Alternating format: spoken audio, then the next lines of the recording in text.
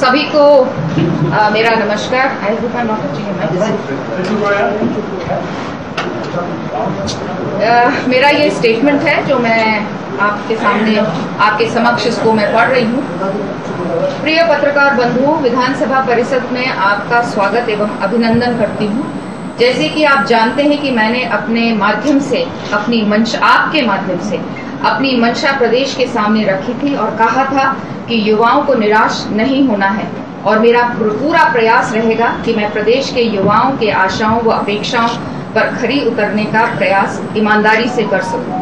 मैंने ये भी कहा था कि मैं अनियमितताओं को लेकर कठोर निर्णय लेने में संकोच भी नहीं करूँगी आज 23 सितंबर है और ठीक 20 दिन पहले 3 सितंबर को यहीं पर हम आपने बातचीत की थी तब मैंने ये वादा भी किया था कि जल्द ही मैं आपसे दोबारा मुलाकात करूँगी। मैं आप सबको सूचित करना चाहती हूँ कि मुझे कल देर रात विशेषज्ञ समिति से जाँच रिपोर्ट प्राप्त हो गई है। आप जानते हैं कि मैं कोटद्वार में थी और मैं वहाँ से जब लौटी तो मुझे खबर आई कि रिपोर्ट तैयार है, पूरी रिपोर्ट तैयार है। It is not an interim report report तैयार है। इसलिए वो मुझे सौंपना चाहते हैं। समिति ने यह सराहनीय कार्य किया है। मैं अप्रिशिएट करूँगी हमारी समिति को। तीनों ने लगातार 20 दिन तक दिन रात मेहनत की है। शनिवार, रविवार की भी उन्होंने परवाह नहीं की है। और साथ ही साथ अपने विधानसभा सचिवालय के जो मेरे अफसरान हैं, उन्होंने उस समिति के साथ पूरी तरह से उनको कोऑपरेट किया है। उनके साथ रहे हैं और जब भी कुछ भी कागजात उन्होंने मांगे हैं, वो उन्होंने उन तक पहुँचाए हैं। समिति ने सराहनीय कार्य किया है और निर्धारित अवधि के पूर्व पूर्व ही रिपोर्ट सौंप दी है। पूरी रिपोर्ट 2014 पेज की है लेकिन इसमें संलग्न भी शामिल हैं जबकि केवल रिपोर्ट की अंश जो है वो 29 पेज के हैं। समिति ने विधानसभा सचिवालय के रिकॉर्ड का परीक्षण करने पर यह पाया कि वर्ष 2016 तक वर्ष 2020 तथा वर्ष 2021 में जो तदर्थ नियुक्तियाँ की गईं, उनमें अनियमितताएँ थीं तथा इन भर्तियों में विभिन्न पदों के लिए निर्धारित नियमों का पालन नहीं हुआ है। समिति ने विभिन्न न्यायालयों में द्वारा नियम विरुद्ध भर्तियों के संबंध में समय समय पर दिए गए आदेशों का हवाला देते हुए अपनी रिपोर्ट में यह सिफारिश की है कि निम्नलिखित कारणों से नियमों के विरुद्ध की गई इन तदर्थ नियुक्तियों को तत्काल प्रभाव से निरस्त निरस्त कर दिया जाए। समिति ने वर्ष 2016 तक 150 तदर्थ नियुक्तियों, वर्ष 2020 में छह तथा तदर्थ नियुक्तियों तथा वर्ष 2021 में बहत्तर तदर्थ नियुक्तियों की पहचान कर उन्हें निरस्त करने की सिफारिश की है। समिति ने इस संबंध में जो कारण बताए हैं, वह इस प्रकार हैं। सेवा के विभिन्न पदों पर सीवी भर्ती के लिए निर्धारित चयन समिति का गठन नहीं किया गया। इस प्रकार यह तदर्थ नियुक्तियाँ चयन समिति के माध्यम से नहीं की गई हैं।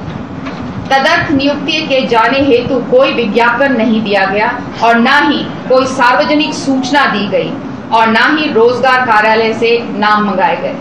तदर्थ नियुक्ति नियुक्ति किए जाने हेतु इच्छुक अभ्यर्थियों से आवेदन पत्र नहीं मांगे गए। केवल व्यक्तिगत आवेदन पत्रों पर नियुक्ति प्रदान कर दी गई। तदर्थ नियुक्ति किए गए जाने हेतु कोई प्रतियोगिता एग्ज़ाम परीक्षा आयोजित नहीं किए गए। इन तदर्थ भर्तियों के लिए सभी पात्र एवं इच्छुक अभ्यर्थियों को समानता का अवसर प्रदान नहीं करके भारत के संविधान के अनुच्छेद 14 एवं अनुच्छेद 16 का उल्लंघन हुआ है। जाँच समिति ने अपने रिपोर्ट में इस बात का भी उल्लेख किया है कि कार्मिक विभाग के 6 फरवरी 2003 के शासनादेश द्वारा विभिन्न विभागों के अंतर्गत तदर्थ, संविदा, नियत वेतन, दैनिक वेतन पर की जाने वाली नियुक्तियों पर रोक लगाई गई है।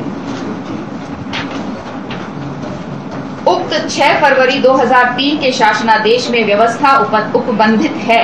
कि श्रेणी ग तथा घ के किसी भी पद पर दैनिक वेतन, तदर्थ, संविदा, नियत वेतन पर नियुक्ति नहीं की जाएगी।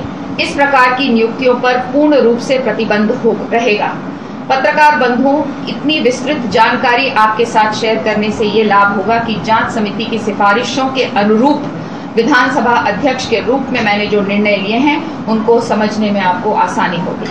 विधानसभा अध्यक्ष के रूप में जाँच समिति की, की अनुशंसा को स्वीकार करते हुए वर्ष 2016 तक की 150 तदर्थ नियुक्तों को वर्ष 2020 की छह तदर्थ नियुक्तियों को तथा वर्ष 2021 की बहत्तर तदर्थ नियुक्तियों को निरस्त करने का निर्णय लिया गया है। चूँकि इन तदर्थ नियुक्तियों को शासन का अनुमोदन प्राप्त है अतः नियमानुसार इन तदर्थ नियुक्तियों का निरस्त करने के लिए शासन को अनुमोदन लेना आवश्यक होगा।